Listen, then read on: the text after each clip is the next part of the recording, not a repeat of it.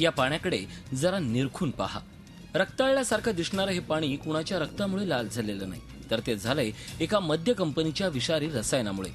या कंपनीनं त्यांच्या कारखान्यातील रसायनं थेट जवळपासच्या शेत जमिनीत नाल्यात उड्यात सोडल्याचा आरोप गावकरी करतायत.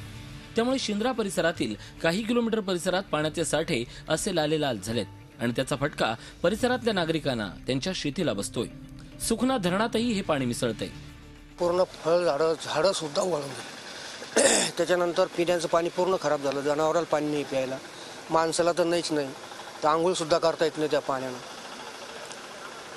पूर्ण टँकरनं पाणी आणलेलं चौदा एकरमध्ये टाकून दिलं त्यांनी.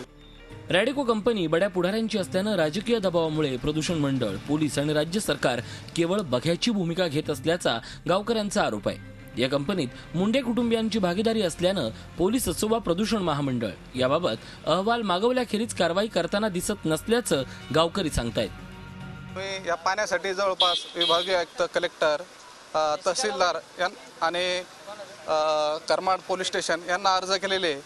परंतु जे प्रदूषण विभाग आहे यांनी सुद्धा काही आतापर्यंत काही कारवाई कारवाई या कंपनी विरुद्ध केलेली नाही. तर या कंपनीनं मात्र गावकऱ्यांचे हे सगळे आरोप फेटाळलेत दूषित पाणी तुम्ही म्हणता अशा प्रकारचं पाणी कुठं टँकरद्वारे कुठलीही वाहतूक करून कुठेही टाकलं जात नाही आहे आमच्याकडं आमच्या कंपनीत मागच्या तीन एक वर्षापासून इव्हॉपरेशन प्लॅन्ट ज्याला म्हणतो ही सिस्टीम चालू आहे. आणि जे खराब पाणी असतं त्याचं या इव्हॉपरेशन सिस्टीम्सद्वारे रिसायकलिंग करतो.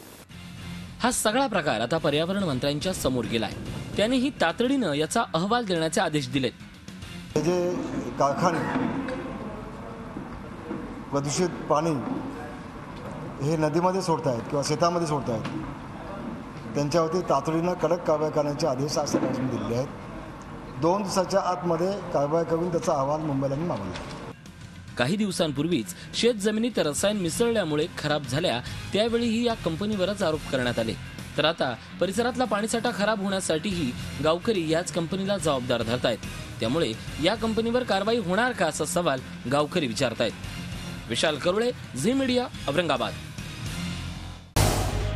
झी चोवीस तास रहा एक पाऊल पुढे.